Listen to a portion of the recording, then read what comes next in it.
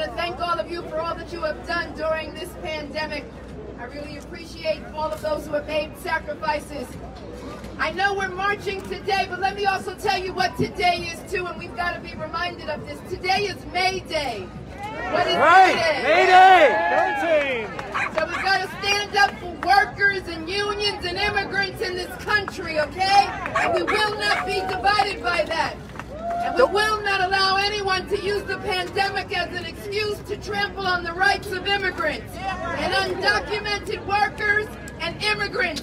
It's important that we legalize and create a pathway to citizenship for all of those individuals who are now in the shadows. I don't know about you, but I see them, we see them. They were essential during this pandemic, and they're essential today. Listen, we all know that the war on drugs has for far too long been a war on poor people and people of color, right? And I have long advocated for the legalization of adult recreational use of cannabis because I believe it is a social and racial and a criminal justice issue. If you believe that it is a social and racial and a criminal justice issue, make some noise! In many states all across this country, recreational use has been legalized and arrests have plummeted by a large percentage. And they are our sons, our daughters, our brothers, our neighbors, and they're mostly men of color. And these young men are punished for this behavior that others seem to turn a blind eye to for people of other races and other socioeconomic statuses. And that's not right. And I believe that simple legalization, my friends, is not enough to right those wrongs. It's not enough to right those wrongs. We cannot assume that changing the law to legalize cannabis will be enough to deliver the justice and opportunity that we hope it will bring. It's a good start. But we need more. Make no mistake, legal, legalizing rec- recreational cannabis means more money for our states. But, but, legalized cannabis in those states that have legalized it have seen significant increases in their revenues.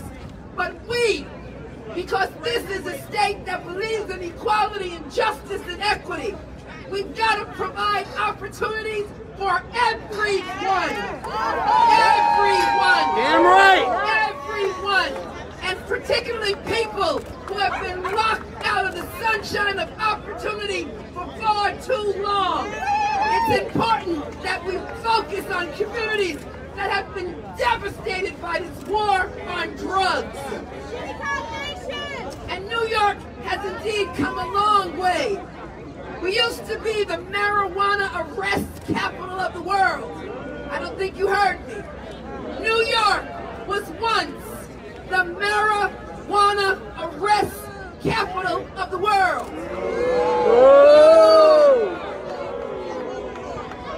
And so, if you believe in justice like I do, then those individuals who are most harmed by the war on drugs, that must be part of the new economy. They must be part of the new economy. And we must provide access to everyone, especially communities of color that have felt the impact of law enforcement in this country and in this city and in this state. So I hope that you would join me.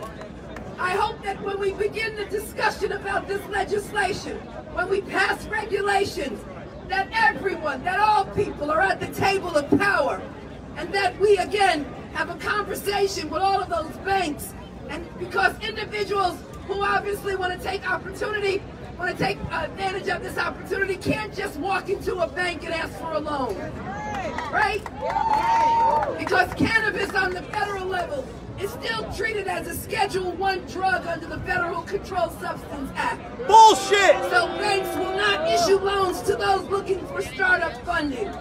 It's unfortunate, but it's a federal issue, and we've got to focus on the federal government to ensure that they change the laws so that everyone can take advantage of these, of these issues. Improve the MORE Act!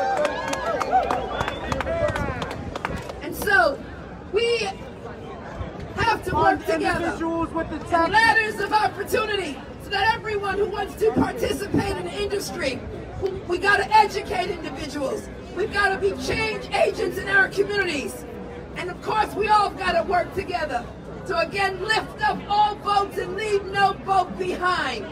So let us all stand together, create opportunities, and focus on justice, and make this legislation an opportunity for equalizing all individuals.